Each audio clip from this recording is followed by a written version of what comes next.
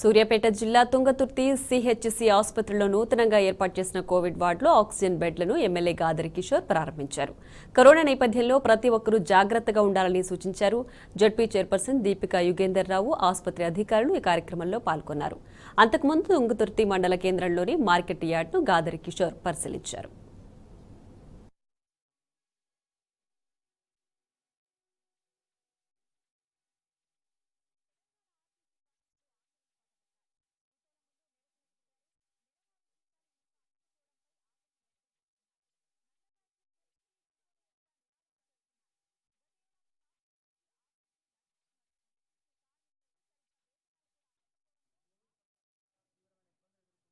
ప్రజానికానికి కొంతైనా స్వాతంత్రం చేకూర్చాలనేటువంటి సదుద్దేశంతో ఇమీడియట్గా మంత్రివర్గం జగదీష్ రెడ్డి గారు కేటీఆర్ గారు దృష్టికి తీసుకెళ్తే గవర్నమెంట్ సహకారం అదేవిధంగా వ్యక్తిగత నా శక్తి వరకు నేను ఇక్కడ ఉన్నటువంటి స్టాఫ్ అందరం కోఆపరేట్ చేసి ఒక పన్నెండు బెడ్లకు సంబంధించినటువంటి ఆక్సిజన్ అవైలబిలిటీ ఉన్నటువంటి బెడ్స్ని ఇక్కడ ప్రిపేర్ చేసుకున్నాం.